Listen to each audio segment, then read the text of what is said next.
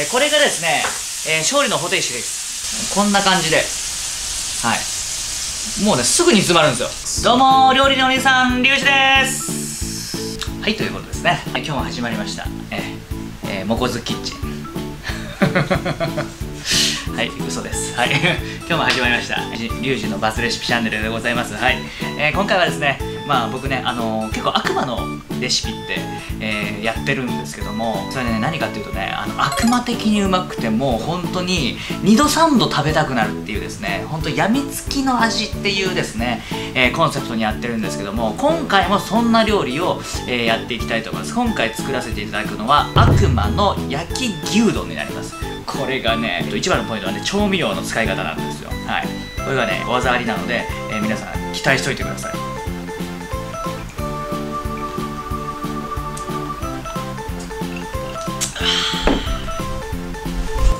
いそれではですねまずバターですね 8g はい、えー、入れて熱していきます。はい、えー、その後まずですね玉ねぎから炒めていきます。はい。でこんな感じで炒めていきます。玉ねぎをしなっとさせる感じですね。ちょっとね火力強すぎた、えー、中火でいいです。中火ですね。あもうねいい匂い。もう美味しい。もうねバターの香りがすごい。バター入れると何でも美味しくなるんですよ。ね皆さんねすごい使える料理知識だからね皆さんねぜひね、えー、使ってみてくださいね。バター入れると何でもうまくなりますから。はい。こんな感じですね。玉ねぎがしなっとなるまで炒めていきます。今日はねものすごい簡単なレシピです。本当にちゃちゃっとできちゃう。やっぱねあの僕レンジ調理が多いんですけど、ね、フライパンっていいね。あの焦げた香り。この香りはねやっぱりフライパンじゃないと出せない。そうしましたら次にですね牛肉。今回は牛のこま肉ですね、えー、を入れていきます。ちょっとね一口大ぐらいにちぎってあげてください、えー、お肉を入れたらね少し強火にして大丈夫ですからね。はい。こうやってですね、えー、炒めていきます。牛丼って基本的にはだしで煮るんですけども今回は炒めて香ばしさを出した、え牛丼になります。このね焼いた牛丼っていうのはもうめちゃめちゃうまいぞこれ。ここで、えーと、牛にしっかりと焼き目をつけていきます。もううまそうです。もう腹減ってきましたよ僕は。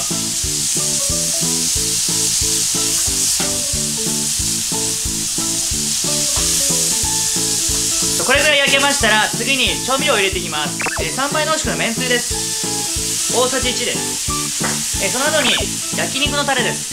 これも大さじ1です、はい、このねめんつゆと焼肉のタレが1対1、えー、これがですね、え勝利の方程式です、え最後に煮絡めてください。もうね入れたらすぐ火取りますから。はい。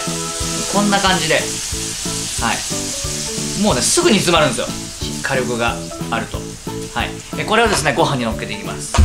お肉ねたっぷり今日は使ってますんで、えー、豪快にねのせていきましょう。めちゃめちゃうまそうだね。このねめんつゆ和のだしと焼肉のタレのこの香ばしさが奇跡のタレになってるんですよこれ。これ発見した時はね勝ったと思いましたね。盛り付けまして。はい、そうしましたらですねトッピングしていきますね。じゃあ紅生姜ですね。これ。はいですね。で小ネギですね。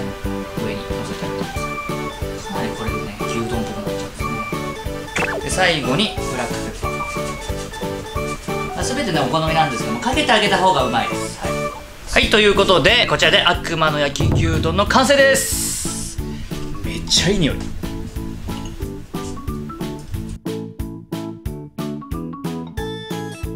はいそれでですね。できましたので早速食べていきましょう。これね今ねこの部屋の香りすっごいんです。めちゃめちゃいい匂いしてるんですよじゃあちょっといただいてみましょうか。えまずですね、えー、紅生姜を少し。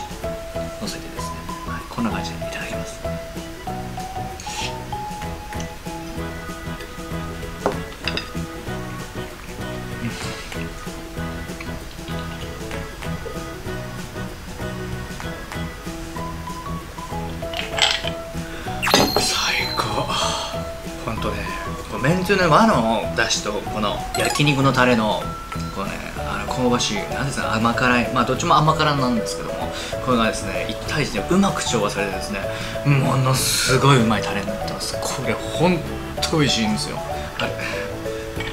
い。つの間にいつの間に消えていた。い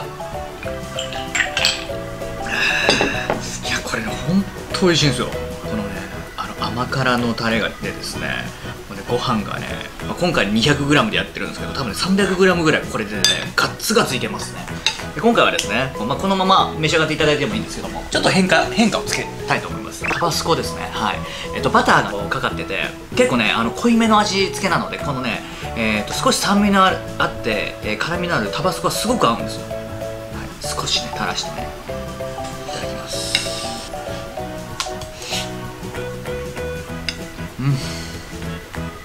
ちゃうまい。これね本当に本当に作り方今、まあ、見てたと思うんですけども炒めて市販のタレ絡めるだけなんですよ。それでこの味わいができるのかって思うとすっごくこれねもう本当にこのねめんつゆと焼き肉のタレ1対1えこれね非常に美味しいです。はい。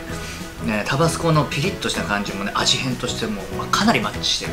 これ本当にうまい。本当にうまいしもうちょっとねお酒がなくなってしまいましたね。はい。でもねこれ本当美味しいので、えー、皆さんぜひねこのタレの黄金比覚えていただいて今日牛でやってますけど豚肉とかでもねものすごく美味しいです。フライパン一つでもう速攻作ることができますのでぜひ皆さんやってみてください。